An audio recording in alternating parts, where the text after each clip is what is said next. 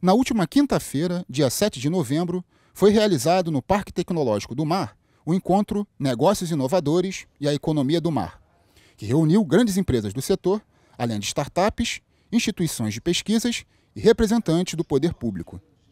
Na ocasião, foram organizadas mesas redondas e apresentações que debateram maneiras de aumentar a colaboração entre as diversas atividades ligadas à exploração marítima. Quando você fala em Angra dos Reis, você está falando no mar. Né? Então, e a gente, como parte integrante dessa, dessa economia do mar, a gente atua na fiscalização do tráfego aquaviário, na prevenção da poluição hídrica né? e, e na segurança da navegação. Quanto melhor a gente explorar sustentavelmente os recursos do mar, né?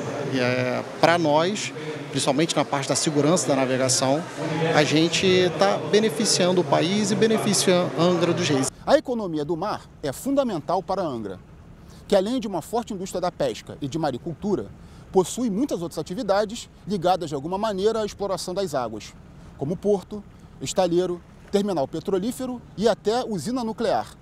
Entre os assuntos discutidos no encontro Negócios Inovadores e a Economia do Mar, foram tratados os desafios para a transformação do setor e também soluções vindas da inovação tecnológica e da cooperação entre os diversos envolvidos, como empresas instituições de pesquisas e poder público.